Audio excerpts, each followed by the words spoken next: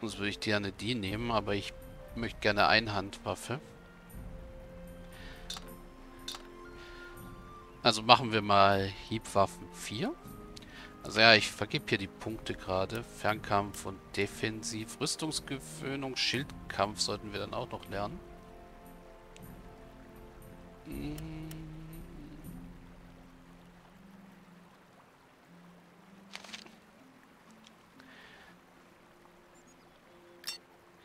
Ein bisschen falschen wäre nicht verkehrt. Ein Punkt noch hier rein. Noch mehr Lebenspunkte sind nie verkehrt. Äh, elf Punkte haben wir noch, also packen wir falschen noch einen Punkt. Unser Pöre sollte gut falschen können. So, Etikette, Betören brauchen wir beides nicht. Ich denke, damit sind wir ganz gut. Sprüche haben wir keine, weil wir sind kein Magier. Und Schmieden haben wir so die einfachsten Sachen wie Wurfmesser könnten wir herstellen. Speere könnten wir keine. Bärenfalle könnten wir auch keine. Wir tragen eine mit uns rum, die werden wir verkaufen. Genauso wie den Vorschlag haben wir das Messer und werden uns eine gescheite Axt kaufen erst einmal. Ja. Und ich habe vergessen, mir einen Namen zu geben. Das wollte ich nicht. Jetzt sind wir noch Kluatsch, Sohn von Dingsterbumster. Das ist also nicht so gut. Das heißt, zurück ins Hauptmenü. Ups. Wir könnten weiter. Wir könnten aber auch das Spiel erstmal löschen, ja. Jetzt habe ich die erste Folge. Ups, Dunkle Zeiten sind es, in denen ich mich an dich wende. Viel ist in den letzten Jahren. Okay. Also nochmal so. Jetzt gebe ich mir erstmal einen Namen. Das ist Neuer Sohn des äh, Sohn des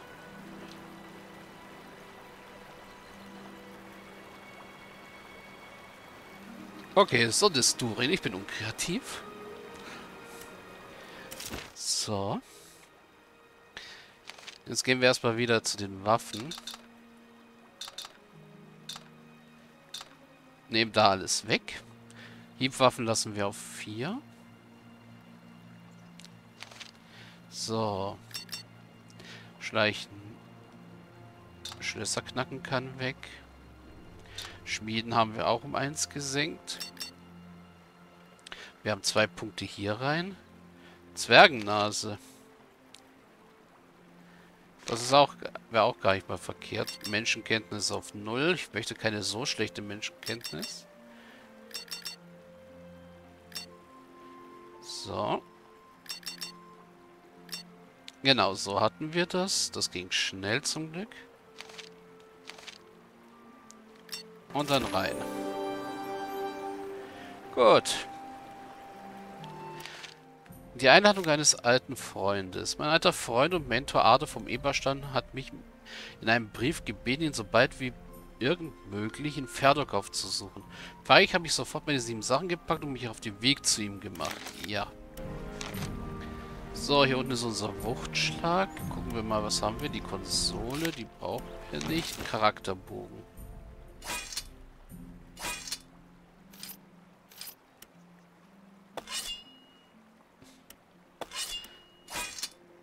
Ja, nehmen wir mal den Vorschlaghammer in die Hand. Äh, kann ich den auch wegpacken? Nee. Gut. Dann laufen wir einfach mal man sieht,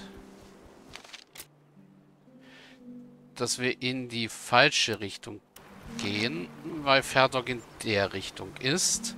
Und ich mich schon gewundert habe, warum hier nur kahle Landschaft ist. Okay. Oh, und wir werden schon... Haltet ein. Ich muss ein paar Worte mit euch wechseln. Im Gespräch mit Leuten kannst du viele Informationen sammeln. Ja, also die Tutorials klicke ich mal weg, die sind nicht so interessant. Haltet ein, ich muss ein paar Worte mit euch wechseln. Gibt es denn ein Problem? Ich bin weit gereist und möchte noch vor Sonnenuntergang in Ferdok ankommen. Und ob es das und ob es eins gibt. Ja, das ist auch noch so ein Unterschied zu am Fluss der Zeit. Nicht alles ist vertont. Also ich muss viel mehr vorlesen. In Fluss der Zeit war alles vertont, also wirklich alles. Hier haben sie sich leider die Mühe nicht gemacht, noch nicht. ja, also, und ob es eins gibt. Erst kommt die Verstärkung nicht und nun ist auch noch Ferdok abgeregelt. Das obwohl schlimmste Mordbuben diese Gegend unsicher machen. Würde so gerne wissen, was da los ist. Zurzeit erhalten nur hohe Würdenträger und Reisende mit gutem Leum und einen Passierschein. Das mag, das mag ja alles sein, aber ich muss wirklich dringend nach Ferdok. Würde diese Einladung des Markgrafen vom Überstamm ausreichen, um einen Passierschein zu erlangen? Ein angesehener Name, aber ohne zwei direkte Fürsprecher habt ihr beim alten Nando, ich Aussicht auf Erfolg. Er ist der Zöllner, der den Wegposten zu bewachen hat. Es unterliegt allein seiner Verantwortung, wer eine Weiterreise nach Ferdok genehmigt bekommt. Dann werde ich mich zugleich um zwei Fürsprecher bemühen und beim Zöllner vorstellig werden. Danke für eure Auskünfte, Feldwebel. Gesagt, kann ich euch noch einige Fragen stellen? Na, sicher, fragt nur. Könnt ihr mir vielleicht jemanden nennen, der als Leumundzeug in Frage käme? Hm, vielleicht schon. Da kam vor einiger Zeit so ein alter Zause vorbei. Brimborium oder Randorium oder so ähnlich. Er hatte zwei junge Burschen im Schlepp, die dümmer waren als Selemmer Sauerteig. Seelemmer Sauerteig. Trotz allem hat er irgendwie einen bedeutsamen Eindruck gemacht. Wichtig dahergeredet hat er auch. Vielleicht kann er euch helfen. Warum sollte mir ausgerechnet dieser Kerl helfen können und wo finde ich ihn? Naja, er hatte einen Wisch aus Gareth dabei, von höchster Stelle und so weiter. Auf jeden Fall ist er weiter zum scharfen Schwert, dem hiesigen Gasthaus. Wenn er nicht schon weitergereist ist, müsstet ihr ihn dort müsstet ihr ihn eigentlich dort antreffen. Sagt, kann ich euch noch einige Fragen stellen? Dann fragt nur. Ja, okay, da sagt er mir nur dasselbe. Gibt es sonst noch etwas, was ich wissen sollte? Ja, eine Kleinigkeit wäre noch. Wenn ihr euch was verdienen wollt, könnt ihr uns bei der Jagd nach diesem mörderischen Halunken unter die Arme greifen. Nando hat die Zollkasse geöffnet und ein Kopfgeld von zwei Silbertaler für jedes Abzeichen von dieser Galgenviertel ausgesetzt. Kann ich noch eine Frage stellen? Na sicher, fragt nur. Erzählt mir mehr über die Mordbande, die hier Unwesen treibt. Hm, was soll ich sagen? Strauchdiebe gab es im Dunkelwald ja schon immer. Aber diese Burschen sind anders. Sie nehmen nicht nur das Geld der Leute, sondern schneiden ihnen zum Dank auch noch die Kehlen durch. Das, die, das ist blutrünstiges Lumpenpack, wie es im Buche steht. Hätte ich genug Männer, würde ich denen nur allzu gerne das Handwerk legen. Aber ohne Verstärkung wird daraus wohl nichts. Nochmals Dank für die Auskünfte. Auf bald, Feldwebel. Ja, Tagebuch. Finde zwei Fürsprecher. Ferdok ist abgeriegelt. Nur hohe Würdenträger und Reisende mit gutem Leumund bekommt zurzeit einen Passierschein für die Stadt. Ich muss also einen Weg finden, vom hiesigen Zöllner nach Ferdok durchgelassen zu werden. Laut, Fel laut dem Feldwebel brauche ich zwei wichtige Fürsprecher, die mir das Vertrauen aussprechen. Sonst war die ganze Reise vergebens. Gut.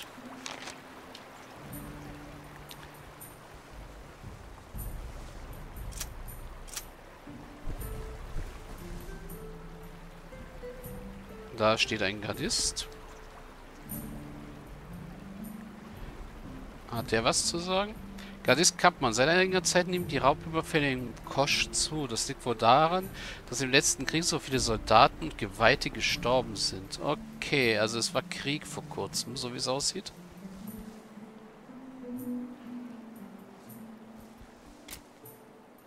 Abseits vom Wegen wachsen wertvolle Pflanzen und Kräuter. Mhm. Gibt es eine Taste zum Hervorheben? Vorwärts, Weltkarte. Info anzeigen.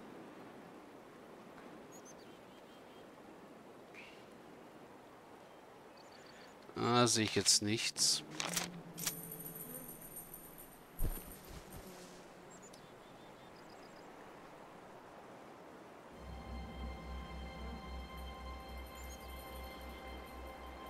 Ja, das bin ich gerade gewesen.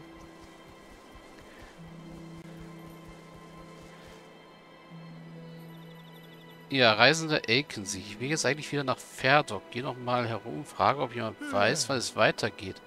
Fuhrmann Hotweg. Ja, ich habe noch einmal rumgefragt. Niemand weiß etwas.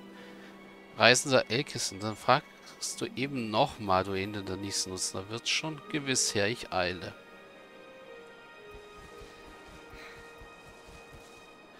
Ja. Seit einiger Zeit nehmen die Raubüberfälle im Kosch zu. Okay, das sagt nichts Neues. Wisst ihr, dass seit einiger Zeit ein grimmiger Bär die Gegend unsicher macht? Zu keinem Dorf soll, soll er schon gewesen sein. Also du siehst wichtig aus, so wie es aussieht. Wisst ihr das seit einiger Zeit? Ja, okay, du sagst nichts Neues. Das war ja mal wieder eine prima Idee. Äh... Das war ja wieder eine prima Idee, Halmer. Lass uns doch meine Familie im Ferdok besuchen. Das wird dir bestimmt gefallen. Und jetzt stehen wir hier wie dumm in der Landschaft. Machst du dir überhaupt einmal, irg einmal irgendwas einen Kopf? Ja, was ja. Schick dich bloß nicht an, deswegen etwas zu unternehmen. Das wäre ja zu viel verlangt von den Herren. Hast du eigentlich jemand, mal jemanden gefragt, wann es endlich weitergeht? Ja, Liebling. Es ist immer dasselbe mit dir. Meine Mutter hat dich damals doch so damals sofort durchschaut und mich vor dir gewarnt. Aber ich wollte ja nicht hören. Jetzt habe ich den Salat. Zöde Bliege. Was? Was war das? Glaub ja nicht, dass ich nicht merke, wenn du hinter meinem Rücken Faxen machst. Tu lieber einmal etwas Nützliches und sorg dafür, dass wir endlich weiterkommen. Ja, Liebes. Weißt du, wann es hier mal weitergeht? Woher soll ich das denn wissen, Gerold? Wir sitzen doch beide hier schon seit Stunden herum und schütten Bier in unsere Köpfe. Ja, und hier sind, ist noch ein Gardist und Gaukler. Oh, ob wir hier was erreichen? Oh, eine Alchemistin wäre hier auch noch.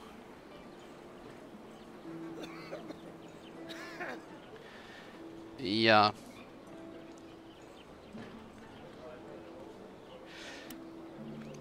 Also ob wir hier auf dem Jahrmarkt... Ja, Umgebungskarte, die kennen wir. Großartig fündig werden ist eine gute Frage. Mit dem Reisenden haben wir schon geredet. Es tut mir schrecklich leid, dass ihr bestohlen wurdet, aber mir sind die Hände gebunden. Aber es ist ein altes Erbstück. Und ich würde mich natürlich erkenntlich zeigen. Ich würde ja gern, aber ich habe strikte Befehle. Unverschämtheit. Immerhin steht hier keine dahergelaufene Schankmarkt vor euch, sondern meine Schwester Salina, die Gauklerkönigin. Spielt euch hier nicht so auf, kleiner Mann. Ich gehe und erstatte Feldwebel Erland Bericht. Aber nur der Dame zuliebe. Ja, hier scheint die Stadtwache irgendwelche Probleme zu haben. Tut mir leid, Tut aber, mir ich muss... leid, aber ich muss patrouillieren. Oh, er redet sogar. Kann ich euch kurz etwas fragen, bitte? Nun, es wird ja hoffentlich nicht zu angedauern. Habt ihr eine Idee, weshalb die Verstärkung aus Ferdok ausgeblieben ist? Um ehrlich zu sein, nicht die geringste. Ich kann nur so viel sagen. Wenn die oberste Wachfrau von Verdok ihre eigenen Leute zurückhält, muss es einen sehr ernsten Grund geben. Dann gehabt euch wohl. Und wir können mit der Alchemistin reden. Auralia, die kennen wir auch aus dem ersten Teil. Da war sie nämlich auch Alchemiehändlerin. Was wünscht ihr von der alten Auralia? Nur, dass sie nicht so alt war wie jetzt. Also es sind wirklich viele Jahre vergangen. Sie war um einiges jünger in, am Fluss der Zeit. Was kann ich bei euch erlernen? Äh, Alchemie, Pflanzenkunde, Balsam, Balsunde. Also ja,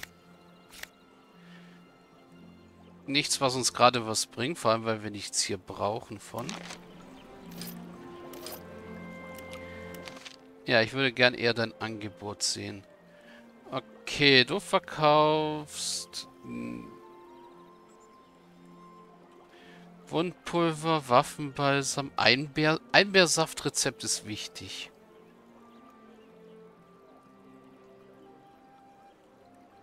Das Messer ist gerade mal für einen Fehler wert. Die Bärenfalle ist aber gut was wert auf jeden Fall.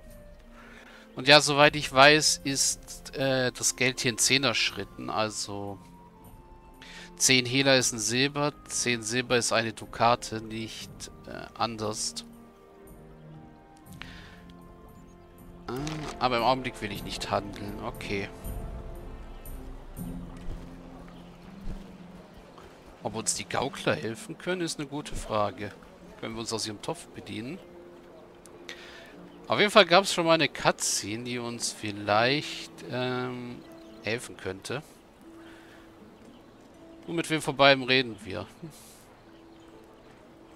Reden wir mit der netten Dame lieber. Ihr Bruder macht nämlich einen ruppigeren Eindruck. Ja, bitte. Äh, ich bin Brenno, Ihr Sohn des Durin auf der Durchreise nach Feuerdog. Ich habe zufällig euer Gespräch mit der Wache verfolgt.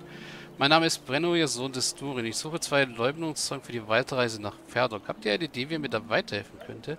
Dürfte ich euch etwas anderes fragen, Salina? Ja, das hat er so laut rumgeschrien, dass es alle wissen. Also, wie sie heißt? Nichts, entschuldigt mich, ich muss dringend weiter. Nehmen wir mal das erste.